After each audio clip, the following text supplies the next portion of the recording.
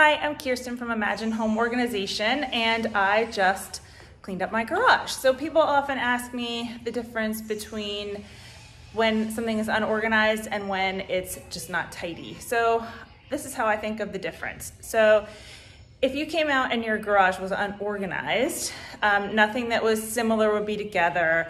And the process for organizing a typical garage takes about a day, usually with a team of two people. So if you figure that's about 16 hours of work. And the process for tidying a garage just took me about half an hour. So the difference being when things are unorganized, nothing that um, belongs together is together and nothing has a home, it doesn't have a place.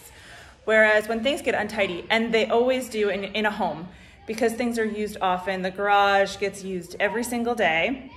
So when things get untidy, everything still has a home. So all you have to do to tidy the place up is to return items back to their home.